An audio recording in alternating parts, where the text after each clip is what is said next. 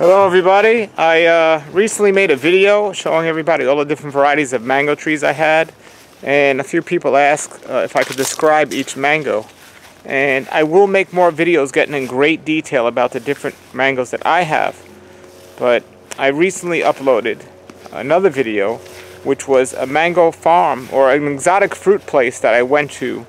They sell all exotic fruits and they described some of the different type of mangoes but that even wasn't in the most amazing detail. However, however, this is amazing. There's a place here called the Mango Place. And if anyone watches YouTube and watches videos about mangoes, you know how amazing this lady is, Chris, who owns the property, and how great her videos are. She makes videos describing a whole bunch of different mangoes. And I've interviewed her on my show several times on this channel. But I look back at some video I found from when I went there, one of the first times I went there, and I started going there all the time. They don't live far from my house. They're in Delray, Florida.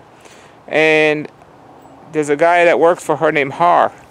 And the guy's like the mango genius. He knows so much about all the different mangoes. So I got a chance to uh, look at that video again, and he did great information. Again, a whole bunch of mangoes that I tasted way back when, but I didn't think to write them down or monitor them or at that time, I didn't even have property to get any mangoes, so I guess I wasn't as serious at that time as I am now. As I said, I got serious about mangoes after I tasted. I, mean, I had my lemon meringue and my curry mango, but after I tasted the pineapple pleasure last year, I was like, wow, wow, I got to get me some mango trees, some new varieties. And I really got into the different varieties. And I've tasted many, many, many since then. Uh, but this is another great place here. I'll put the updated information below. Contact them. But here, check this flashback of this great video out to learn about these wonderful varieties of different types of mangoes and great detail about them. Alright? And if you're in South Florida, get to this place. I don't know if they do mail order. They might. They might. But get there. Here's Chris, uh, the owner of the farm, and she has a great blog. Chris, say hello to the audience. Well, hi. I uh, hope you all are able to, to come and see the place in person. Um, it's just the beginning of mango season, and we have tons of mangoes, uh, mango varieties that are yet to ripen, and they're all fun. So come on down and check our blog, uh, uh, to see what our hours are and what varieties we have ripe. And I've been living down here in Florida for over 10 years, and I, I've never heard of you until recently a friend told me about you. And pretty much most of your business is word of mouth, right? Yes. It, um, we have uh, quite, a, quite a range of customers um, from uh, you know, just every walk of life. Um, a lot of people from other countries that have grown up with wonderful mangoes and, and know that the ones that they're buying it or that they sell in the supermarket are really not, um, you know, representative of the, the mango, and so they'll they'll come uh, from long distances. Uh, we've had people come. Uh, well, we have a couple of customers in Orlando that make a few trips uh, a, a, season, and uh, we had one gentleman from Arizona that that flies in for mangoes. I, I think it wasn't once or twice last year. I don't I think know. it was three or four times. Oh, three or four well, times. Tell us your name again. Har Mahdeen. Har Mahdeen. So can you tell us about some of these different varieties of all these wonderful mangoes you have available? This is Cogshall. The fruit, besides being beautiful, are fiber free and sweet and tart, very good flavor. The tree is smallish and an extra good looking tree compared to most other mango trees. The foliage is dark and the canopy is dense, and as I say, the tree is easy to keep small. super productive and very early to early. And is the skin edible on that? No, I don't think so. Okay. The The dwarf Hawaiian, also very early and mid-season and late because it produces multiple crops per year. As you can see, it does have problems with anthracnose, but that's about the only knock against it. The flavor is excellent. Uh, I like the edible skins on it, and the fact that the tree is small, dwarfish, and is usually flowering when it has fruit on and then does two or three more crops in a season is very impressive.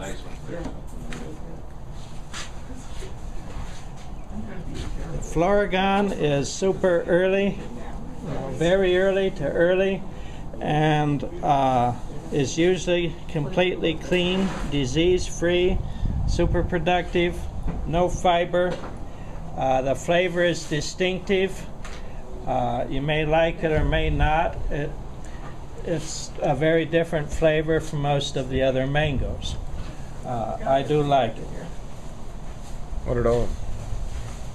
These, I believe, are Pimsain Moon. We have a tree here labeled Quidno also that's very similar, and I have a hard time telling the two apart.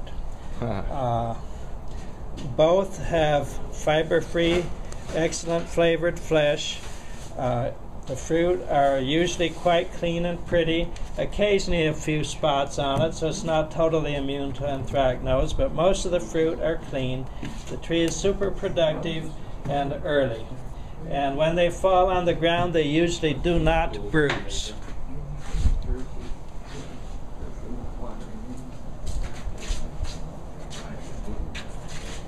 Glen, an old variety here from Florida. The tree has a similar appearance to the Cogshall, the dark, uh, attractive foliage and dense canopy. It's not quite as early as Cogshall most years, but it is an early variety. Uh, fiber free and usually a good rich flavor. And some people eat the skin of those. Uh, so I hear. Uh, I haven't chosen that as one of the ones that I consider to be a tasty skin, but yeah, it, it's not awfully bitter like some. Uh, sometimes the early fruit, it, the earliest ones in the season are low in flavor, but by this time of the year they are rich flavored. The Nam Dok Mai, a real old time variety from uh, Thailand. Nam means water and Dok Mai means flower. So uh, it means uh, nectar, sweet as nectar, uh, water of flower. It's fiber free, a very long flat seed case, but with a very tiny seed in it. So the, the seed and the seed husk don't take up much room. Uh, very good distinctive flavor, uh, usually clean, occasionally a little bit of anthracnose. These also tend not to bruise very badly when they fall unless you let the tree get really big. They are a medium-sized tree, but they're easy enough to keep small. And if you have mulch under the tree, they usually don't bruise when they fall, except maybe right at the tip, when the tip hits.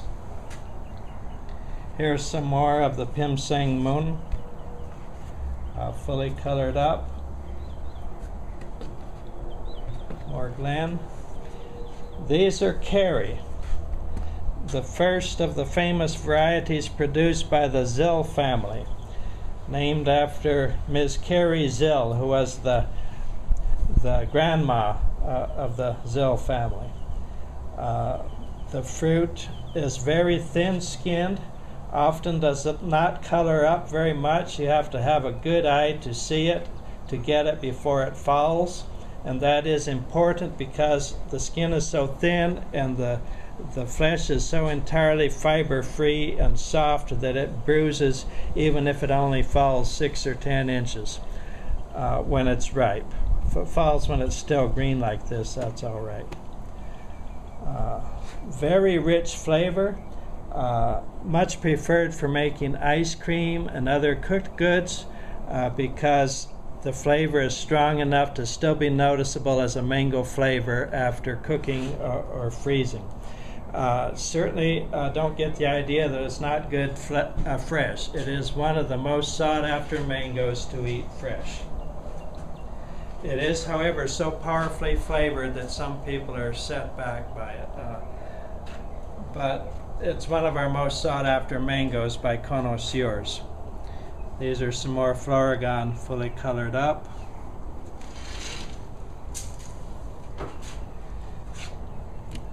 These are Haden. Haden was the first famous variety to originate in Florida from a mulgoba that someone got grafted from India and planted by a turpentine tree. And when they planted mulgoba seeds, hoping to get something like mulgoba, they got Haden, which turned out was much better for Florida. Mulgoba gets absolutely huge but doesn't fruit very much, whereas the Haden took on uh, much of the fruitful characteristic of the turpentine. Uh, it also took the fiber of the turpentine, not as fibrous as turpentine, as turpentine, but it's quite stringy. In fact, the word stringy is the name of turpentines in Jamaica. And uh, turpentines are much appreciated for flavor, not for texture. Uh, people who know how to eat turpentines will bruise them while they're whole and then bite a little hole in the end and squeeze the juice out and leave all the fiber still sticking to the seed. That's the way to eat turpentine. Now Haden is not that fibrous that you have to do that with. People do normally cut them with a knife and eat all the pulp and fiber. Uh, Haden tends to produce very heavily one year and then rest the next year, or produce just a few.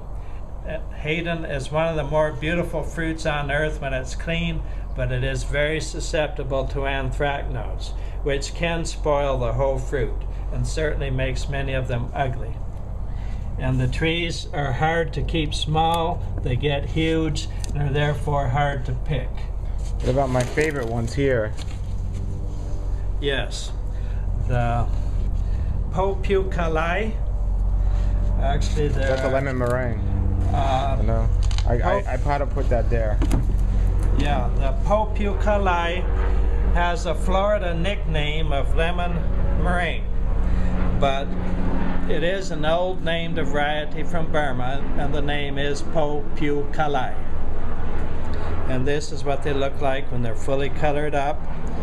Uh, the sap, when you first pick the fruit, does smell like lemon meringue pie, and that's where the name comes from. When you eat the pulp, however, you'll get a little bit of a lemony flavor, but it doesn't really taste like lemon meringue pie. It tastes like a top rate mango. This is one of our most sought after mangoes. Almost all our customers like the Popucali.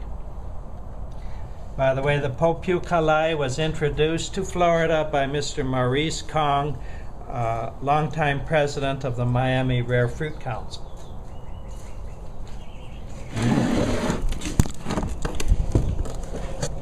Wonderful. And let's talk about the Rosa, and then that's, I guess that's it for today. The Rosa is from Brazil. Uh, it's not named after a Ms. Rose, it's named because Rosa in Portuguese means pink colored, rose colored. And like the Haden, the Rosa is one of the more beautiful fruits anywhere when it's clean, but it like the Haden, is extremely susceptible to anthracnose on the fruit skin. Not on the, on the blossoms. The tree is quite resistant to anthracnose and powdery mildew on the blossoms, and it is a consistent, heavy producer that's uh, about the earliest mango you can find anywhere. It's a very early mango. This one's not a rosa. The, the Rosa is quite fibrous, even more fibrous than the Haden. The skin of the Rosa is very strong tasting resinous flavor, which I really like. Uh, I eat all the skin that isn't the anthracnose spots. So you eat the skin on nose? On the Rosa, yes. Most mangoes have unpalatable skins, but Rosa uh, has a very tasty skin to me because I like resinous flavors. Wonderful. How many different varieties do you have here? Ms. Chris Wenzel has about 50 varieties producing here on the place, mango varieties. There are several hundred in Florida and several thousand mango varieties in the world. Uh, This is another variety. It actually uh, was patented years ago. The patent has now run out on it. It's called the Duncan. It has a distinctive flavor. Uh, some of our customers only want Duncan unless there aren't any Duncan and then they'll, they'll get something else. Another of our customers don't look for it at all. So it, it's a flavor that some people really go after and others don't uh, notice a lot. It is extremely disease resistant and highly productive every year and uh, good uh, texture. Wonderful. So that's Duncan. How early and how late does the mango season start and end? Well, it, it really depends on the weather. This has been an early year eh, um, because we had a warm winter.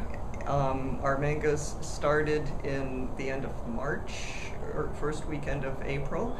Uh, but the selection gets better all the time, and now um, we're really getting a lot of of uh, great mangoes available, and um, they'll be strong through um, sometime in August, and we'll have a few going sometimes into September.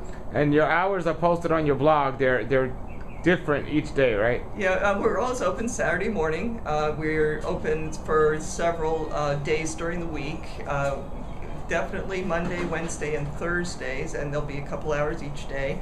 And um, we're still working on what hours work out best for most of our customers, and so hopefully that will be set uh, in the next week or so, and for the rest of the season. Wonderful. Now, what's your favorite mango? Uh, it depends on what's ripe. Okay. it uh, and and it also depends on on what you're using it for. I I have you know if I had one favorite mango, I'd probably just grow one variety. But there's so many, there's so much range of flavors and textures and uses of mangoes that uh, you know it's there's a reason to have every one of the 50 varieties. And you don't just have mangoes here, you have uh, various other tropical fruits as well, right? Yeah, it's probably um, 90% mangoes, but then we grow things like uh, jaboticaba, black sapote, mamey sapote, uh, sugar apples, atemoya, uh, carambola, um, I, uh, well, uh, kaimito, sapodilla, uh, and um, tamarind, and Basically, you have and jackfruit. So basically, you have a, a raw food is paradise here. Yeah, I hope yes, so. yes, you absolutely do, and I want to recommend everyone to come on out here when you're in Florida, South Florida. You definitely got to come here and check it out. And thank you so much. Actually, um, I put these small, eh, these are dwarf um, mango trees right here. I trim them every year to make them extra dwarf. Um, but um, people often say they don't have room for a fruit tree or whatever, and you know, it just takes up a real small area, and they always produce fruit. Um, So, how many mangoes would you say one of these small dwarf trees would get? um, easily like 20. 20. Yeah. And do you call them dwarf trees because you keep them small or because they're actually a breed that's a dwarf? Um, yeah, there there are about four varieties that are dwarf, and and um, these are uh, uh, alternating Cogshall and and Neelam, and um, they're just good all-around mangoes for uh, dwarf. How many varieties do you have here? Um, we have over 50. Um, Great. it's uh, it always changes, always planting new stuff and taking out stuff that we don't, and grafting things over if we don't like it. This is, um, I don't think there's any fruit on it now, but the, these two plants are Jaboticaba. Oh, yay, yay, there is. This is cool. Jaboticaba tree. Okay. Look at that. They grow right out of the branch, everybody. These are like the most delicious grapes you've ever had. Almost similar to muscadine grapes, but even better. And And- uh, look at that. Native to Brazil, I think, right? Right, and, Yeah. and very high in antioxidants. They, uh, there's people who come just for this fruit. Um, it's a, a low quad. Um,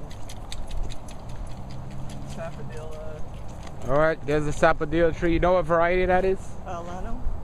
Alano. I just got a brown sugar. Yep, brown sugar's uh, a little bit uh, grittier. I like yeah. that. Yeah. Um, this is a smoother fruit, and I've got some varieties that haven't really started producing yet that have very large fruit. Um, the, uh, newer varieties. see if I can find the right fruit for this. This What- is um, kaimito or star apple. Oh, Okay. That's uh, Kaimito. Yeah, so that's that. And it's um, it starts um, in February or March and uh, tastes sort of like a melon, but much softer. Um, tamarind. Tamarind tree here. Okay. Is it sweet tamarind or non-sweet? Well, it's it's a sort of a um, they they have this is a little bit younger than I usually eat them, um, but uh, they the um, the name tamarind um, is actually um, means like date from India. It's not related to the date, but the fruit itself is very similar to a date. I don't know if you want want to try Absolutely. that, but it's uh, nice. One of the dwarf varieties that I have up front, but it's really uh, a nice fruit. Uh, that, uh, did you What get some of variety is this? Dwarf Hawaiian has a little coconut flavor to it. I don't know, but do you have any up front? Yeah. Okay, I'll get one. I'll, I'm going to write on it with the marker too. Dwarf Hawaiian. Yeah. Tastes like a coconut. It's a mango. Yeah, mango coconut together. This is um, unfortunately doesn't produce a lot, but that's Orion, Ryan. Okay. and this one is um, Tommy Atkins. And what? Go are these. Those are Namdok Mai. Namdak Mai. We've had these. These go uh, throughout the season, I believe. It's um, it'll go for at least another month, probably a month and a half. So these are all lychee trees here. right, Nice. Brewster and Mauritius. Here's the jackfruit tree, and uh, wow, look at that. How wow how We've already harvest one, harvested one. how much do you think that one weighs? That's a big one. Uh, that that'll end up being probably 35 pounds or something like that. Wow, look at that. So they, Nice. Yeah, and then um, yeah, I've got, got another one this this side, but uh, All right, everybody. I told you, wasn't that amazing? Uh, they're both amazing. Chris is amazing, and Har's amazing, and that whole place is amazing. And you can trust me. As soon as mango season starts, I will be one of the first people there this year, uh, hanging out there and doing more videos and tasting more mangoes. They are just wonderful, wonderful people and a wonderful place. Great history to that farm, and I'll be there. So, if you haven't just subscribed yet to my channel, please do so. And I'm just going to try to keep giving you as much information as possible to help you keep growing. Have a blessed day.